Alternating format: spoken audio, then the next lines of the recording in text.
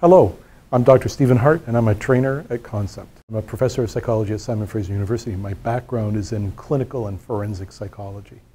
My area of specialty is violence risk assessment and management.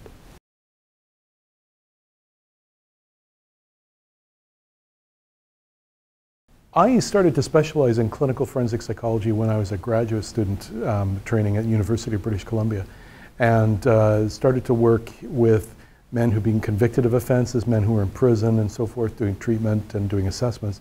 And then subsequently um, started to do work in a wide variety of uh, settings, including law enforcement and workplace settings, looking at the issue of violence risk and how we identify people who have problems with violence and the ways that we could try to prevent violence.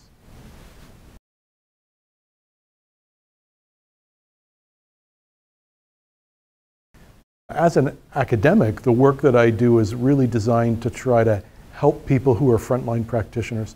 So whether they're in mental health or criminal justice or human resources, doesn't really matter. Um, all that work is designed to try to help people do their job more effectively and more efficiently. Um, for me, the big thing is to try to make sure that the knowledge that we generate, that the procedures that we develop are designed to be incorporated into frontline use. Um, as a practitioner, I try to make sure that I um, spend as much time as possible actually doing violence risk assessment. Uh, my personal view is it's not a really good idea to try to develop procedures or to try to tell people what to do if you don't have experience doing it yourself. So I try to make sure that I get as much experience as possible in a wide range of different areas. So I get to work in a number of different settings around the world, and, and I find that to be um, immensely useful in the work that I do as an academic.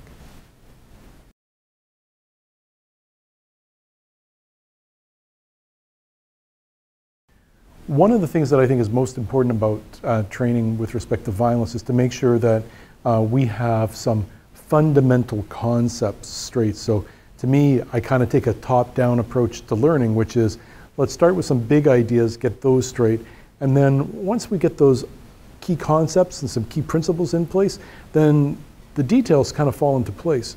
So I try to start by making sure that we've got terms and concepts clear. That's the first thing. Then the second thing is to try to talk about um, principles for practice in a good general level so that we get an idea about the flow of our work and what we're trying to accomplish, goals, objectives, procedures. And then finally, work on trying to develop specific practice skills so that when we can go ahead and do violence risk assessment or violence risk management, that we feel like we've got our thinking straight. I guess that's the way I think about it is, you know, that the whole process of teaching and the process of learning really goes heart to head to hands. We start with trying to get our attitudes and our awareness in place, and then we try to get our thinking straight in line with those values, and then we try to make sure that what we do is already steered in the right direction um, with our heart and our heads.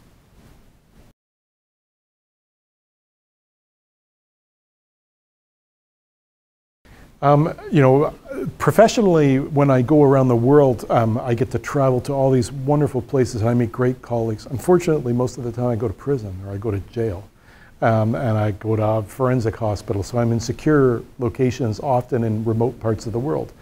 But it's fascinating to me for a couple of reasons. One of them is um, you get to meet some incredible diversity of patients and offenders, and, and uh, amazing experiences for me. Like I remember once going to New Zealand and going to a forensic psychiatric hospital and having a patient, a man with uh, chronic schizophrenia, who had um, killed his family and wanted to come over, and he got closer and closer to me, and then he said to me, "Hongi," which I didn't have any clue what that meant, but it's the New, it's the New Zealand traditional Maori uh, greeting, which is to bump foreheads and touch noses and to share breath with each other.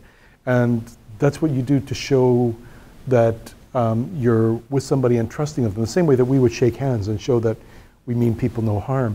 But um, you know, for me, that was a rather unusual experience. Similarly, going to Finland, uh, for example, to a maximum secure facility where uh, we went and sat in a sauna all night, which in Finland involves drinking mass quantities of alcohol and being naked, including with your forensic patients to me, that was something that was actually kind of inconceivable. But in Finland, it would be impossible to rehabilitate somebody and to make them feel part of society again unless you were willing to partake in those kinds of um, socially, culturally important rituals.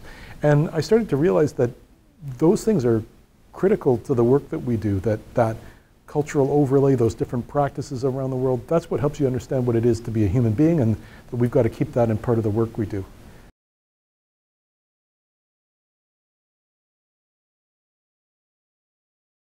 Well, I guess today's workshop was an excellent example uh, for me. Got a chance to hear from people working in a variety of different places, uh, from um, psychiatric hospitals, civil and forensic, to workplace settings, to higher education settings. And everybody's struggling to deal with this problem of how do I identify people who might be a violence risk? How do we deal with them? How are we supposed to manage this? How are we supposed to do our best for people um, and try to help them through life problems while at the same time making sure that they don't commit violence that would not only hurt themselves but hurt other people as well. And it's amazing to me when I see people who have the same ideas and the same values that I do and talk about something using different language or they're doing different concepts. And I learn different ways to, to speak about the same problems. I learn different ways to handle the same problems at a more general level. It's like getting out of my field. It's like getting out of that parochial field where I do my work and trying to find a universal way, a, a much more generalizable way of having those discussions. And to me, it makes me feel much more uh, literate and much more uh, comfortable dealing with people from really diverse backgrounds and again from many different cultures from around the world.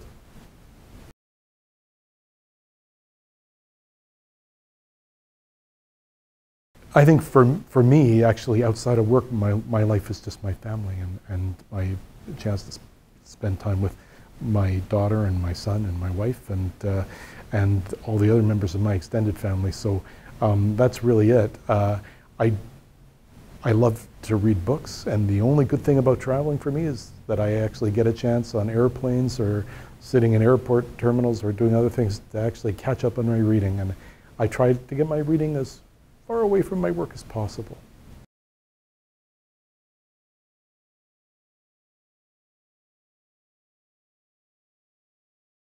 You know, in my private practice in the business that we operate, Protect International, one of the things that we do is obviously we do training, but um, for me, the training is one part of the job, and the other parts are to actually go out and do this work in the field. So we do assessments. We also help other people do their assessments. We support them. We provide support services to help them do violence triage or violence risk assessment. We help places develop policies and procedures or review their own practices so that we can try to help them improve their agencies. And you know, uh, we also do consultation or research. Putting all those things together for me, it makes me feel like I'm not over focusing or uh, training too hard in one area, overtraining and losing sight of the big picture about how we deal with this problem of violence and violence prevention in society more broadly.